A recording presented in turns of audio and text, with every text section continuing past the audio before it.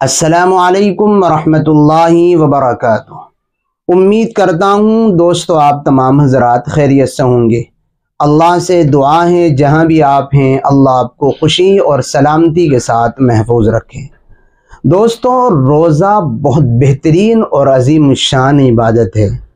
اس لیے اپنے روزے کی قدر کرنا چاہیے اور ایسے کاموں سے بھی اپنے روزے کو پاک رکھنا چاہیے جو روزے کی حالت میں کرنا مکرو ہے۔ یا یوں کہہ لیجیے، جن کاموں کے کرنے سے روزے کا ثواب گھٹ جاتا ہے، کم ہو جاتا ہے، روزے میں ایسا بھی نہیں کرنا چاہیے۔ اس لیے کہ رمضان کے روزے بہت عظیم الشان ہیں۔ ان کا پھر کوئی بدل نہیں ہے۔ اگر رمضان المبارک کا ایک روزہ انسان سے چھوٹ جائے پوری زندگی روزے رکھ کر کے پھر وہ اس ایک روزے کا ثواب حاصل کرنا چاہے تو بھی اس روزے کے برابر نہیں ملے گا۔ اتنی عظیم الشان عبادت ہے۔ اس لیے ان روزوں کو چھوٹی چھوٹی غلطیوں اور خامیوں اور لغزشوں سے بچانا چاہیے۔ کچھ کام ایسے ہیں جن سے روزہ مکرو ہو جاتا ہے، روزے کا ثواب کم ہو جاتا ہے۔ کیا کیا ہیں وہ کام؟ منہ میں تھوک جمع کر کر نگلنا۔ بہت سارے لوگوں کی عادت ہوتی ہے کہ منہ میں تھوک جمع کر لیا اور اس کو نیچے کو سٹک لیا، نگل لیا۔ یاد رکھیں، اس سے روزے کا ثواب کم ہو جائے گا، روزے کا مقام اور وزن گھٹ جائے گا۔ اس لیے ایسا بالکل نہ کہیں۔ اسی طرح روزے کی حالت میں کسی چیز کا چکھنا یا چبانا، یہ بھی روزے کے مقام کو، روزے کے ثواب کو اور روزے کے وزن کو ہلکا کر دیتا ہے۔ تو روزے میں ایسا بھی نہ کریں اسی طرح ٹوتھ ٹیوٹ پیسٹ یا منجن کا استعمال کرنا روزے میں یہ بھی روزے کے وزن کو کم کر دیتا ہے اور روزے کا ثواب گھٹا دیتا ہے۔ ہاں آپ مسواک کریں، مسواک کرنے میں کوئی حرج نہیں ہے، لیکن ٹوتھ پیسٹ کا استعمال کرنا یا روزے کی حالت میں منجن کرنا یہ روزے کے مقام کو اور اس کے وزن کو کم کر دیتا ہے، اس لیے روزے کی حالت میں ایسا بالکل نہ کریں۔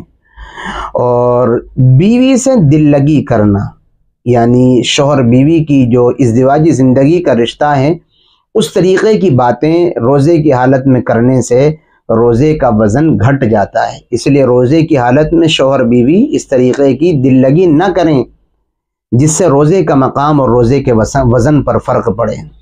اسی طرح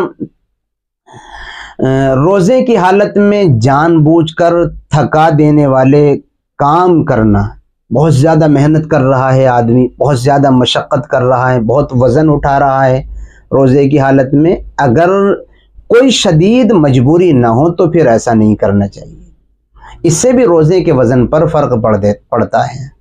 اور اسی طرح روزے کی حالت میں کوئی بھی گناہ کرنا، اللہ کی کوئی بھی نافرمانی کرنا اس سے بھی روزے کا وزن کم ہو جاتا ہے، روزے کا مقام گھٹ جاتا ہے، اس لیے اپنے روزے کو گناہوں سے پاک بنائیں اور اعلیٰ ترین روزہ بنا کر کے اللہ کی خدمت میں پیش کریں۔ اور یہ جبھی ہوگا جب ہم گناہوں سے اپنے روزے کو پاک رکھیں گے۔ کلی کرتے ہوئے ناک میں پانی ڈالنے میں بہت مبالغہ کرنا کہ جس سے یہ ڈر ہونے لگے کہ شاید پانی اندر چلا گیا ہو یا چلا جائے۔ ایسا مبالغہ کرنا روزے کی حالت میں پانی ڈالنے میں، ناک یا منہ میں، ناک میں یا کلی کرنے میں، یہ بھی روزے کو، کے وزن کو گھٹا دیتا ہے اور اس سے روزہ مکرو ہو جاتا ہے۔ اس لیے نارمل کلی کریں۔ اسی لیے تو روزے کی حالت میں اگر آپ کو نہانے کی ضرورت پڑ جائے اور آپ غسل کر رہے ہوں، تو غرارہ کرنے سے کلی کرتے ہوئے منع کیا گیا ہے۔ حالانکہ غرارہ کرنا غسل کے دوران سنت ہے۔ لیکن روزے کے وزن نہ گھٹے اور پانی جانے انجانے میں اندر نہ چلا جائے، اس لیے غرارے سے منع کیا گیا روزے کی حالت میں۔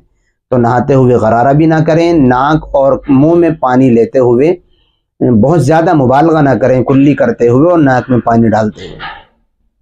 تو یہ وہ کام ہیں جو روزے کو مکرو کر دیتے ہیں۔ اس لیے اپنے آپ کو ان کاموں سے بچائیں۔